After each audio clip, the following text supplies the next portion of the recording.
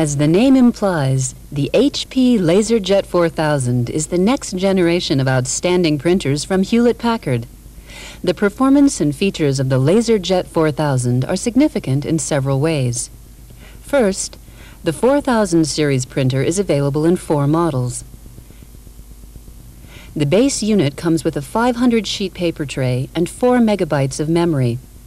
The 4000T has the same memory but has two 250 sheet paper trays. The 4000N has HP's newest network EIO card and more memory. The last model, the 4000TN, combines the features of the other models. The new printer's major features are speed, print quality, and flexibility. The engine produces 16 pages per minute the printer's Instant-On Fuser provides a faster printer warm-up and a quicker time to first page out. When not printing, the Instant-On Fuser consumes no power. The printer's formatter has a 100 MHz RISC processor and gives you the fastest image processing to date. HP's new JetDirect EIO, Enhance I.O., is 40% smaller than today's MIO card and uses less power. The HP EIO standard is designed to comply with the industry standard 32-bit PCI bus. Fast and efficient data files are created by HP's newest printer drivers. HP's PCL6, PCL5 Enhanced, and HP's PostScript Level 2 emulation drivers are shipped with the 4000 series printers. Print quality is good at 300 dpi and outstanding at 600 dpi, FastRes 1200, and ProRes 1200 print resolutions. FastRes 1200 works with HP's resolution enhancement technology to provide 1200 dpi quality printing at the full engine speed of 16 pages per minute. HP's FastRes 1200 print technology manipulates image processing data to simulate 1200 dpi print quality with lower memory requirements. The printer's default resolution is FastRes 1200. With the ProRes 1200, the printer prints at half speed at a true 1200 by 1200 dpi print resolution. Capabilities for 225 levels of gray ensure photorealistic print quality. Ultra-precise toner is required to achieve 1200 dpi print quality. The toner particles are smaller and more uniform. The toner cartridge and the printer's drum drive mechanics have been redesigned to ensure a more uniform movement and therefore higher print quality. The LaserJet 4000 printer has three DIMM dual inline memory module slots available. These may be used for upgrading the printer's random access memory. New DIMM memory can be added in 4, 8, 16, and 32 megabyte increments. The LaserJet 4000 has two EIO slots. These EIO slots increase the printer's functionality by allowing accessories to be quickly added. The HP JetDirect EIO Fast Performance allows it to keep pace with the fastest print engines on the fastest networks. The HP JetDirect EIO provides support for all popular network platforms, protocols, and wire types. The EIO standard allows for new accessories like a hard disk to be added to the printer. This 1.2 gigabyte hard disk allows for maximum storage of fonts, forms, and signatures. The disk also gives the printer MOPI, multiple original print, capabilities. Additional storage capability is also available by installing optional flash DIMM memory. Two sizes of flash memory DIMMs may be inserted into the formatter's memory DIMM slots. The standard paper trays adjust for letter, A4, and legal paper sizes. Tray 1 can be adjusted to print from 3 by 5 inch index card size to legal page sizes. Other trays with more sizes are also available. Optional feeder assemblies are available, including a 500 sheet feeder. With this feeder, the printer could support up to four trays. If two-sided printing is desired, a convenient user-installable duplex assembly can be installed here.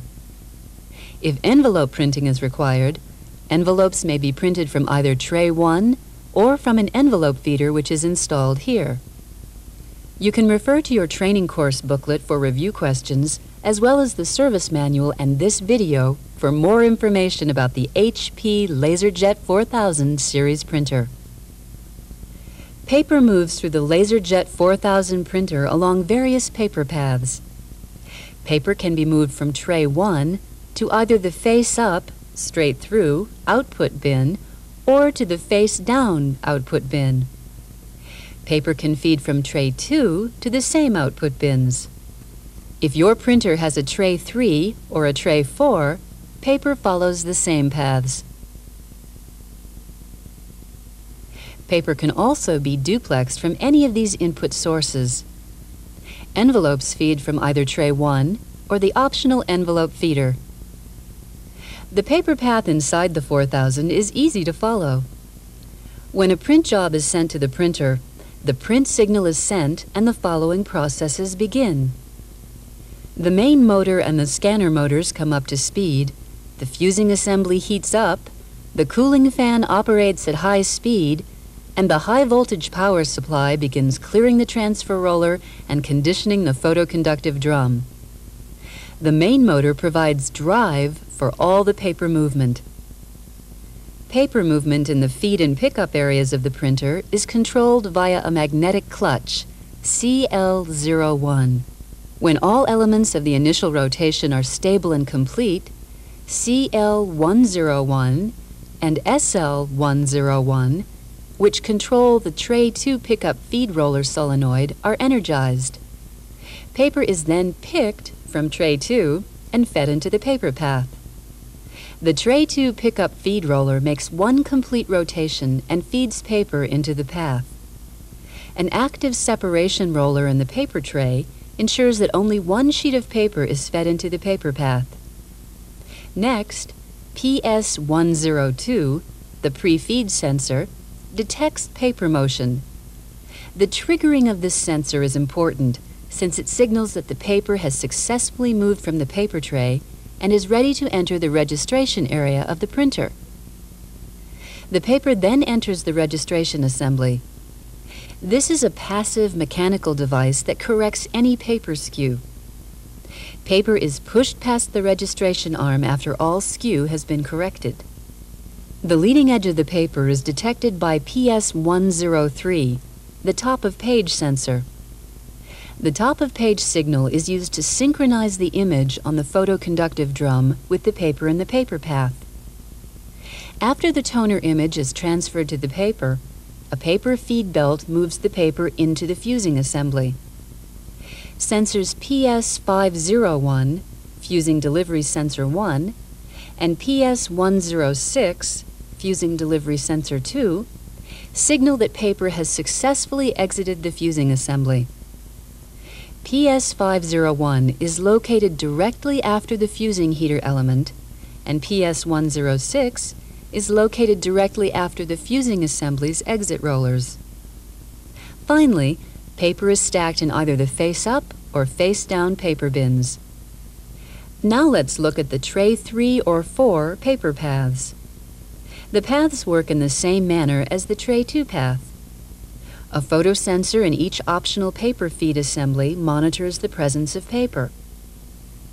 Drive is provided by the printer's main motor, enabled via the magnetic clutch. When the tray is selected, a solenoid in the desired feed assembly is energized and allows the feed assembly's paper pickup roller to rotate once, picking a sheet of paper and feeding it into the paper path. A separation roller prevents multiple sheets from being picked. Feed rollers guide and assist the movement of the paper along the path. Notice how the paper passes through the paper tray above it. When the duplex option is present, solenoid SL701 controls a deflector mechanism within the rear door of the printer. During a duplex print cycle, as paper exits the fusing assembly, it is diverted and guided into the duplex assembly when SL701 is energized. The paper is guided to the turnaround area of the duplex assembly. When the trailing edge of the paper is detected by photosensor PS703, paper motion stops. The feed rollers are reversed, and the paper is moved into the holding area of the duplexer. Oblique rollers within the assembly ensure that the paper is aligned horizontally. When the printer receives the request to print the second side of the paper, a second motor in the duplex assembly feeds the paper forward into the printer's normal path. Photosensor PS102, the pre-feed sensor, monitors the paper's motion to check for jams. Paper continues along the normal path. The HP LaserJet 4000 series printers are technologically advanced in their printing capabilities and are designed to give the consumer a state-of-the-art printer at an attractive price. The LaserJet 4000 allows easy access to its maintenance items. These are the fuser, the transfer roller, and the paper feed and separation rollers. Access the fuser by removing the rear cover rear output bin. To do this, you face the rear of the printer, pinch the right side of the rear output bin, and release the hinge from its slot. Rotate the bin upward and push it to the right to release the left hinge. The cover is now off. If a duplexer is not installed, remove the left and right duplex connector covers from the rear of the printer by pulling each from the bottom. Loosen the two screws on the fuser. Pull the fuser straight out of the printer. That's it for the fuser. The transfer roller may also be removed very easily by opening the top cover. The transfer roller is underneath the toner cartridge. Be careful not to touch the black rubber part of the roller. Skin oils on the roller can cause problems with print quality. With a flat blade screwdriver, pry the right end of the metal shaft out of its slot, then the left end. When you replace the transfer roller, be sure the black collar is oriented properly with the open end down. Finally, the separation rollers may be serviced by removing the tray from the feeder. The separation rollers are located in the paper tray. Carefully pinch the release at the left side of the roller and slide it off the shaft.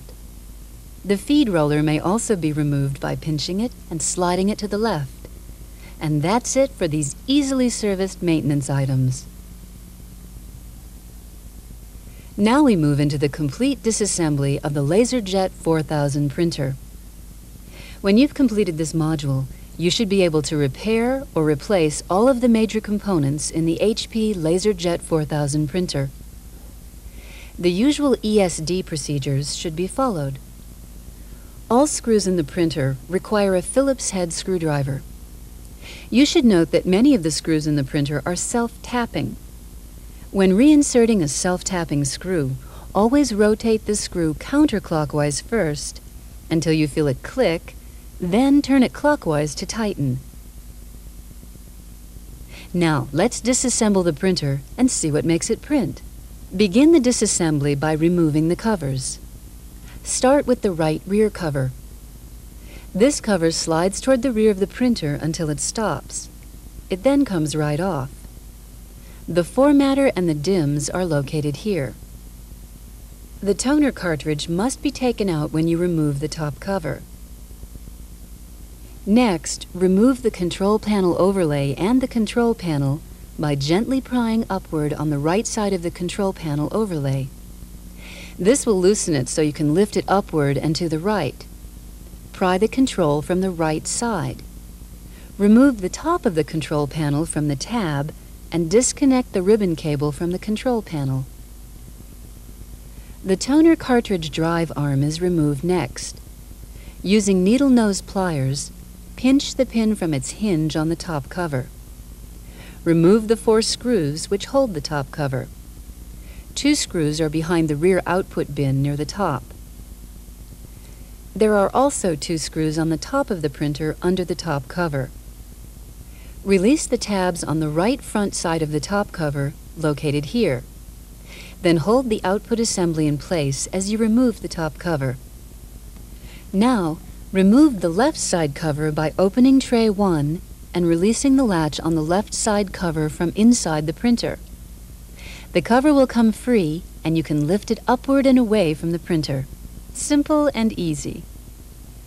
From the left side, you go to the right cover. Start by releasing the latch at the top center of the cover. Lift the cover straight up until it's free of the tabs at the bottom and the power switch rod. You can now pull the cover away. Here's a reminder. When you replace the cover, be sure to reconnect the power switch rod. The rear cover rear output bin is the final panel to remove. On the right side, pinch the rear output bin and release the hinge from the slot. Rotate the bin upward and push it to the right to release the left hinge. No excess force is needed. To remove tray 1, Move the two slot hinges apart to release the pins on the tray. The front cover then slides to the right and is removed from the hinges on the bottom. The Tray 1 sensor arm cover comes off by firmly pulling both sides of the Tray 1 sensor arm cover toward you until it releases from the shaft. Then, rotate Tray 1 downward and remove it from the two hinges. Something to note is that when you reinstall the Tray 1 sensor arm cover, you must be sure the sensor arm moves freely. In this section of the video, you'll discover that the order in which you remove and replace assemblies depends on which part needs to be replaced. It is not necessary to remove every assembly. To remove the formatter cage assembly, all the covers must be removed from the printer, as you did earlier in this video. On the right rear side of the printer, you will find the formatter cage assembly. Transfer any EIO accessories or DIMMs if you replace the formatter. There are five screws around the outside of the formatter cage. Remove them. Slide the formatter toward the rear of the printer and remove it. It's quite easy. The output assembly is on the top rear of the LaserJet 4000. On the left, Rotate the brass arm up to 90 degrees. Then, on the right side of the assembly, release the white tab. Lift the assembly up and out of the printer. There is a sensor flag on this assembly for the top output bin full flag. When you reassemble the printer, make sure the flag is able to rotate freely. Next, you'll remove the laser scanner. The top cover should be removed first. Find the laser scanner on the top of the printer, tilting toward the rear. It has a yellow information label on it. Unplug these three connectors carefully. Then, after they're clear of their connectors, remove the four black screws which are around the edges of the laser scanner. Please notice the black shutter interlock. It must be resting on top of the silver shutter plate when you replace the laser scanner. When servicing the LaserJet 4000, you may need to remove the fan. Here is the fan on the left side of the printer. Disconnect it from the DC controller board. Squeeze the latches on the left and right sides of the fan cover. You'll notice that a screen attaches to the fan. Keep the screen. It is a separate replacement item from the fan. Here is the printer's main motor. The motor is on the right side of the printer. Unplug its connector. There are four silver screws around the corners of the metal plate. Remember, when you replace the main motor, these are the silver screws which secure it. Once they're removed, you may proceed with removing the motor. The Tray 1 pickup roller is serviced by opening Tray 1. The Tray 1 pickup roller is in the center of the tray on the pickup assembly. Pull the envelope entrance covers straight away from the printer in this manner. Pry open the blue latch on the roller. The roller lifts out easily. When you replace the roller, be sure the pin in the roller lines up with the hole in the shaft. The right side toner cartridge guide can be lifted instead of being removed to gain access to the registration assembly. It's not necessary to unplug these connectors. Remove the black self-tapping screw here. Unplug the three connectors here, here, and here. Remove the small silver screw to release the ground wire. Lift the right side toner cartridge guide off the printer. That's it. Finally, remove the five self-tapping screws and the silver ground screw to complete the process. Be careful not to remove this screw. Now you can pull the registration assembly out of the printer. The pickup assembly is removed by flipping down or removing the envelope cover. Remove the envelope feeder cover in the following manner. Unscrew the black self-tapping screw at the bottom of the feeder cover. Next, remove the long 4-inch screw on the right side of the Tray 1 pickup assembly. Disconnect the solenoid cable on the right side of the Tray 1 pickup assembly, making sure to note the way the cables are routed for replacement. Unplug the connector to the DC controller on the left side of the assembly. Remove the 4-inch screw from the left side of the assembly. Remove this self-tapping screw. There are three additional screws to remove, here, here, and here. Pull the assembly straight out of the printer. The paper feed assembly is located on the front of the printer. Unplug the 2-pin connector from the right side. Be sure to note the way the wires are routed to the connector. You'll need this information during reassembly. The wires can be damaged if they're improperly routed. There are two black upper screws to remove next. When replacing the paper feed assembly, make sure to insert only the two upper screws. The two lower screws are for holding the Tray 1 pickup assembly in place. This tab must be oriented properly when you insert it into the slot. The formatter pan is on the right rear side. Remove the formatter pan in order to separate the engine from the tray assembly or to access the gear train. All you do is remove the four black self-tapping screws here. Next, the three silver M3 screws come out of the printer. The formatter pan comes straight out and away. There are many components which must be out of the way to access the gear train. They include the top cover, front right side cover, rear cover rear output bin, and tray 1. Remove the right side toner cartridge guide, the registration assembly, the formatter cage assembly, and formatter pan. The gear train is on the right side of the printer. There are eight self-tapping screws to remove in these areas. Locate and pull the ribbon cable assembly outward, then down, out of the way. Follow this by removing all the wires from the white plastic guide. Now you may slide the gear train out. When you reinstall the gear train, slip the tip in first and push the bottom in. This is the best way to do it. The delivery drive assembly is in the right rear of the printer. Remove this single screw and unplug the connector. The delivery drive assembly comes upward and away from the printer in this manner. That's all there is to this step. The final phase of the disassembly is to separate the engine module from the paper feed module.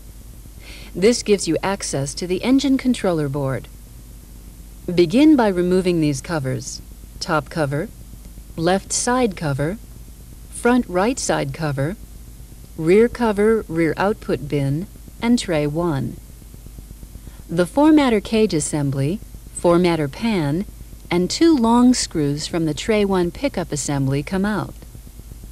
Unplug the connector to the paper feed module on the right rear side of the printer under the formatter pan. Remove the cable from its bracket. The engine is removed from the paper feed module by taking out the single black self-tapping screw from the left side of the printer below the fan. You need to be sure that all the cables are disconnected as you lift the engine away from the paper feed module. You now have access to the engine controller board which contains the DC controller, the high voltage power supply, the AC power supply, the DC power supply, and the timing controls. Face the printer and remove these seven screws located here. Four black self-tapping screws, three in front, and one in the right rear area. From the left rear, there are three silver M3 screws, one of which is recessed. Disconnect the spring on the right side from this notch. Next, the power switch rod is disconnected. Lift the DC controller from the same side as the fan by tipping the board up and unplugging all the connectors. The black cable route in the middle of the DC controller can be folded aside with the cables intact. When the board is replaced, reconnect and route all cables before reconnecting the power switch rod. The spring on the right side is connected to the notch as was shown in the disassembly. This final segment of the HP LaserJet 4000 video deals with troubleshooting. Troubleshooting is nothing more than a logical series of steps which are taken to determine printer problems. In most cases, the printer will tell you what is wrong. Always correct any diagnostic message first when working with the printer. Before you begin troubleshooting, always print the configuration page and the printer's event log. These will provide you valuable information on the current status and error history of the printer. If for some reason you're unable to print, you can display all event log entries from the control panel. See your service manual for details. Here are some general hints when troubleshooting.